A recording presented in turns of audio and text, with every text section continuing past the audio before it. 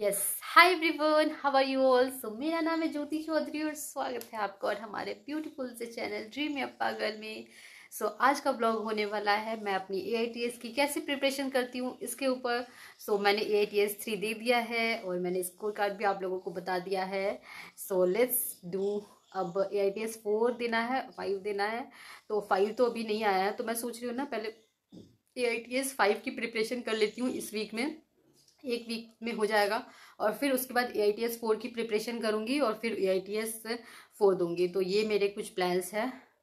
तो चलो let's start मैं दिखाती हूँ कि मेरे को A I T S five में क्या क्या आने वाला है क्या क्या मेरे को पढ़ना है, ये सारी चीज़ें और फिर स्टार्ट करते हैं अपनी तैयारी करना, अपना शेड्यूल बनाना कि मेरे को कैसे कैसे चीज़ें कंप्लीट करनी है और फिर दिखा। So A I T S five में आने वाला है principle of inheritance and variations microbes in human welfare organism ecosystem human reproduction reproductive health human health and disease chemical kinetics simile bondings electrochemistry magnetism EMI AC और electromagnetic waves chemical kinetics तो ये सारे chapters आने वाले हैं। सो so, सबसे पहले सोच रही हूँ principle of inheritance and variation ना वन शॉट से कर लेती हूँ जिससे मेरे सारे कॉन्सेप्ट जो है वो कंप्लीट हो जाएँगे। और एक बार ना इकोलॉजी का भी लेक्चर लेक्चर वैसे कुछ नहीं देखूँगी, बस एक बार मैं चाहती हूँ ना कि एक बार चीज़ें देख लूँ टीचर मतलब कोई नहीं टीचर समझाते थे तो चीज़ें थोड़ा ज़्यादा दिमाग में घुस जाता है।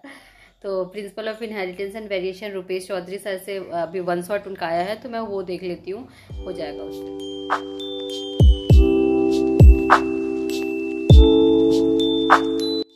The next day. आज मुझे कंप्लीट करना है केमिकल काइनेटिक्स सबसे पहले करूँगी फिर ह्यूमन रिप्रोडक्शन रिप्रोडक्टिव हेल्थ और इकोलॉजी तो ये सारे चैप्टर्स है और फिर मैग्नेटिज्म के बहुत सारे क्वेश्चंस करने तो चलो स्टार्ट करते हैं आज का तो सबसे पहले सोच रही हूँ इकोलॉजी कर लेती हूँ बिकॉज़ इकोलॉजी कर लूँगी तो तीन चैप्टर कंप्लीट हो जाएगा। तो ये बहुत बड़ा पोर्शन कंप्लीट हो जाएगा।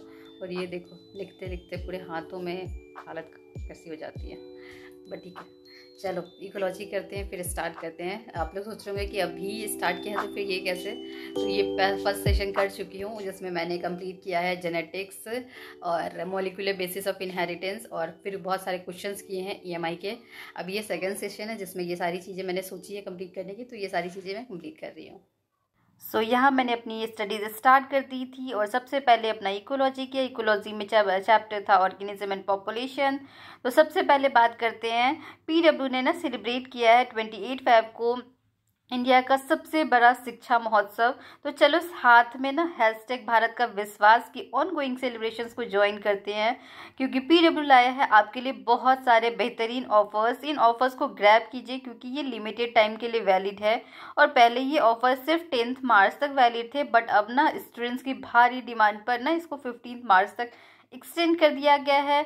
इसके साथ ही ना नीट में कंपटीशन आपको पता है बढ़ता ही जा रहा है बढ़ता ही जा रहा है। तो इसके लिए चाहिए अपने को focus determination dedication with good strategy के साथ एक अच्छे मेडिकल कॉलेज में एडमिशन्स के लिए आपको नीट की प्रिपरेशन स्टार्ट करनी होगी आज से और अभी से। तो सबसे ज़रूरी है गुड स्ट्रैटेजिकल शेड्यूल्स और आपके टारगेट्स पर पूरा फोकस सो so, अभी चल रहा है विश्वास दिवस हैशटैग भारत का विश्वास सेलिब्रेशंस तो अगर बात करें बैचेस की तो अर्जुना अलेवेंथ वालों के लिए है लक्ष्य ट्वेल्थ वालों के लिए है, यकीन ड्रॉपर वालों के लिए, और इन तीनों बैचेस का हिंदी मीडियम में भी अवेलेबल है। Pravesh two point O G T N language ये भी ट्वेल्थ वालों के लिए है।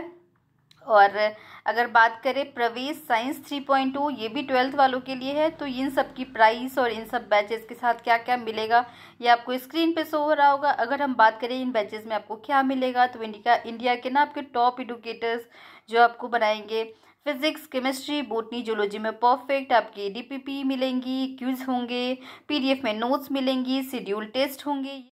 सो so, ये जो ऑफ़र है ये फिफ्टीन मार्च तक एक्सटेंड कर दिया गया है और ये जो कूपन कोड शो हो रहा है डी जी वन फिफ्टी इससे आपको इंस्टेंट डिस्काउंट भी मिल जाएगा। सो so, मैंने जो सारे लिंक्स है वो आपको डिस्क्रिप्शन बॉक्स में दे दिए please go and check them और अपनी पढ़ाई को स्टार्ट करो। शाम हो गया है। मैं अगर बाहर का मौसम दिखाऊँ तो देखो तो मैंने छत पे ना कपड़े डाल रखे हैं तो मैं छत पे से कपड़े लेके आती हूँ और पानी भी ख़त्म हो गया है। एज यू कैन सी यहाँ से तो दिख नहीं रहा होगा। तो पानी वाले भैया को फ़ोन कर देती हूँ, वो पानी आके दे जाएँगे, तब तक छत से कपड़े ले आती हूँ।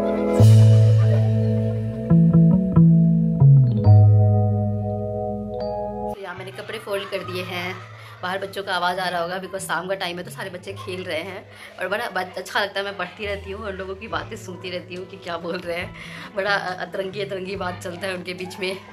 तो आज मैंने साज बत्ती वो शाम को दिखाते, दिखाती हूँ ना मैं रोज़ तो वो नहीं दिखाया है। बिकॉज़ सुबह मैं अंडा खा ली थी तो हमारे इधर नॉन वेज खा के पूजा नहीं करते हैं।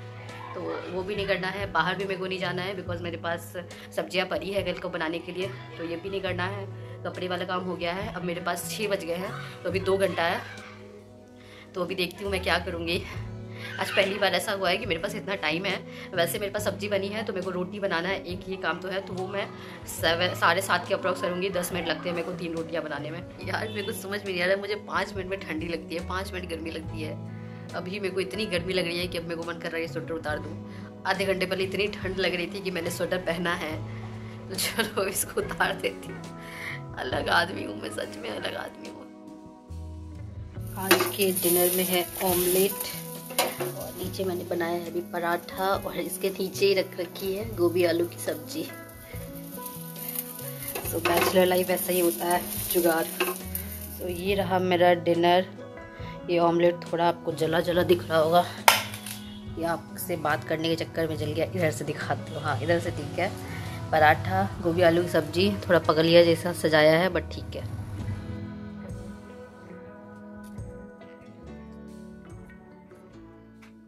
Two thousand years later.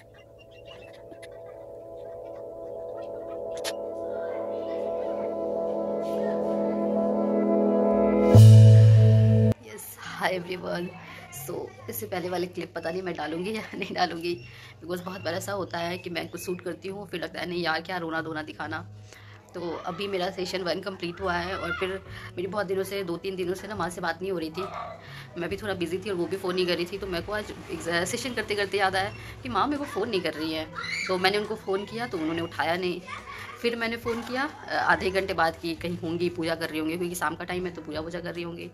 तो फिर पापा ने उठाया, फिर बताया कि माँ बहुत ज़्यादा बीमार है और ये सुनते मेरा सारा दिमाग ख़राब हो गया।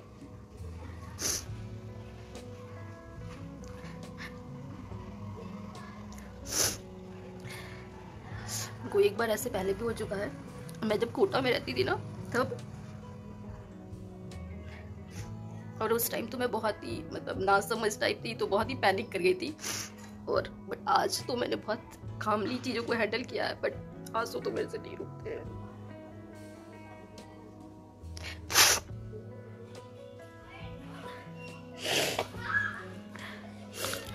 सुबह से मैं बहुत ज़्यादा परेशान थी। कि मैं बहुत पढ़ती हूँ, मैं बहुत ज़्यादा पढ़ती हूँ, लेकिन तब भी मेरे ना क्वेश्चन पता नहीं क्यों गलत हो जाते हैं और सिर्फ़ सिली मिस्टेक्स होता है, सिर्फ़ सिली मिस्टेक होता है। एक बार गलत हो गया ना, फिर मैं दोबारा बनाती हूँ, वो क्वेश्चन सही हो जाते हैं। मेरे को समझ भी नहीं आ रहा, मैं क्या करूँ? मैं खुद परेशान थी, मेरा सिलेबस कंप्लीट नहीं हुआ है। मैं क्वेश्चंस करती हूँ, गलत हो जाते हैं। और तीसरा, माँ का तबीयत खराब हो गया है। मैं बोल रही हूँ कि मैं घर आ जाती हूँ तो पापा मम्मी बोल रहे हैं, नहीं नहीं आना है। एग्ज़ाम दे के आना, हम हैं यहाँ हैंडल करने के लिए, ये वो। बट मेरे से नहीं हो रहा है। एक तो मेरे क्वेश्चन इतने गलत होते हैं ना, सबका ख्वाब है, सबकी बहुत चाहते हैं कि मेरा हो जाए सिलेक्शन बट पता नहीं क्या करूँ मैं।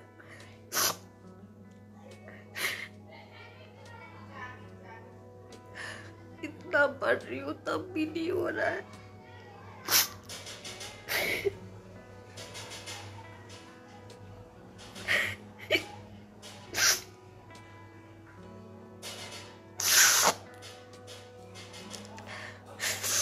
रात को नींद में भी पढ़ाई चलता रहता है। अचानक से उठती हूँ, चार घंटे, साढ़े चार घंटे सो रही हूँ कि मेरे को पढ़ाई पे ज़्यादा टाइम मिले। छोड़ो। रोना धोना मैं दिखाती हूँ मैंने ना अपना शेड्यूल बनाया है कि मेरे को सारी चीज़ें अपनी कैसे कैसे कंप्लीट करनी है। मेरे से जितना होगा मैं करूँगी। हार तो नहीं मानूँगी।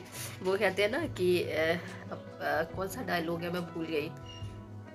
कि जाने दो कुछ तो ऐसा है मैं भूल गई। चलो दिखाती हूँ मैंने रिवीजन का अपना सारा शेड्यूल कैसे बनाया है कि मेरे को कैसे कैसे रिवीजन करना है, कितने मॉक टेस्ट देने हैं रोज़ तो ये सारी चीज़ों का ना मैंने एक तरह से डिटेल में भी बनाया है कि अपने को रोज़ क्या क्या करना है, क्योंकि अगर रूटीन ऐसे नहीं बना होता है ना तो रैंडमली कुछ भी पढ़ने बैठो, फिर वो चैप्टर में पूरे दिन ही लग जाता है।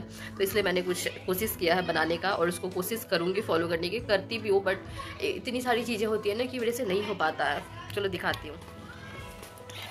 सो ये देखो, आज एक मार्च है और मैंने इस तरह से बनाया है अपना पूरा रूटीन कि एक मार्च को मेरे को क्या कंप्लीट करना है, फिर दो को क्या करना है, तीन को क्या करना है, चार को क्या करना है, इस तरह से मैंने सारा बनाया है। और फिर ये नेक्स्ट पेज में ये अप्रैल का बनाया है कि रोज़ मेरे को एक मॉक देने हैं। यहाँ, जहाँ से मेरे ये है ना, यहाँ से मेरे को रोज़ दो मॉक देने हैं और फिर ये सारी चीज़ें कंप्लीट करनी है। तो इस तरह से मैंने कुछ बनाया है। यस तो अभी मैं वीडियो एडिट कर रही थी और फिर मैं वो क्लिप देख के रोने लग गई। सच में मैं पागल हूँ। सो so, यस yes, ये मैं बताना चाह रही थी कि आज का ब्लॉग थोड़ा रोना धोना हो गया बट ठीक है। अब मेरी मम्मी बिल्कुल ठीक है उनका ऑपरेशन हुआ है तो वो अब ऑपरेशन हुआ है तो अभी ठीक है बट मैं उनसे मिलने नहीं जा पाई। बट ठीक है एग्ज़ाम दो के जाऊँगी। सो so, एक दिल की बात बताऊँ अगर यही ना जो अभी चीज़ें चल रही हैं ये अगर रिज़ल्ट आ जाएगा तो सबको लगेगा कि यस सेक्रीफाइस किया तो ये हो गया वो हो गया। और अगर आपके फेवर में रिज़ल्ट नहीं आएगा ना तो सबको लगेगा कि आपने पढ़ा नहीं इसलिए आपका रिज़ल्ट नहीं आया। तो ऐसा ही होता है ऐसी ही है दुनिया ऐसे ही है सब लोग। तो that's it for today's video I hope आप लोगों को मेरा वीडियो अच्छा लगा होगा। तब तक के लिए बाय टेक केयर एंड गेस हँसते रहिए, मुस्कुराते रहिए, पढ़ते रहिए, जान लगा दीजिए, बस कर दीजिए।